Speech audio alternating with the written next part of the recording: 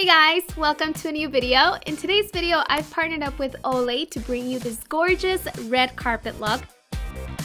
This red carpet look is all about eyes that steal the spotlight. So I'm going to show you how to get this natural wearable look that's also going to light up your face. First, I'm going to smooth and brighten up my eyes using the Olay Regenerist Eye Swirl. I'm just going to lightly dab this under and around my eyes. It's a very light formula, so it's going to be quickly absorbed by my skin. Now I'm taking an eyelid base that's going to help my shadows not only show up more pigmented, but also prevent creasing.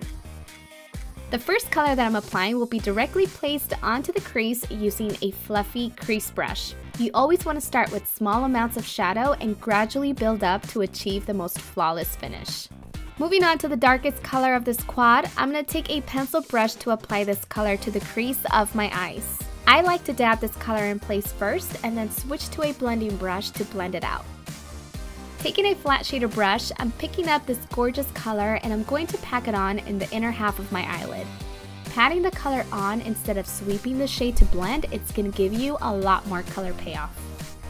This last shade will be applied as a highlight with a fluffy brush right beneath the highest peak of my brows. Now I'm going to take a cream and easy to blend eyeliner and smudge it right on the outer corner of my eyelids. Since the eyes are the main attraction for this look and I want to keep it wearable as well, a creamy pencil like this one is going to give you a softer look. After curling my lashes, I'm going to apply a few coats of mascara to my lower and top lashes to finish off the eyes.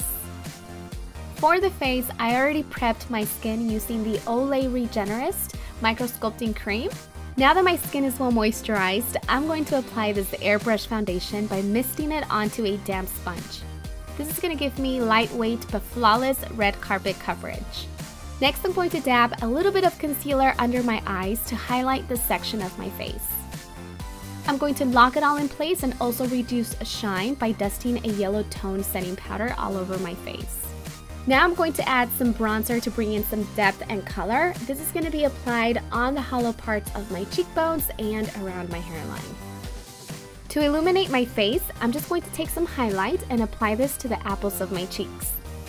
Last but not least, I'm going to finish off this red carpet glam by adding a nudish peach lipstick.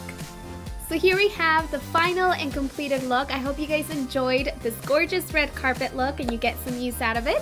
Thank you for watching and have a great day. Bye!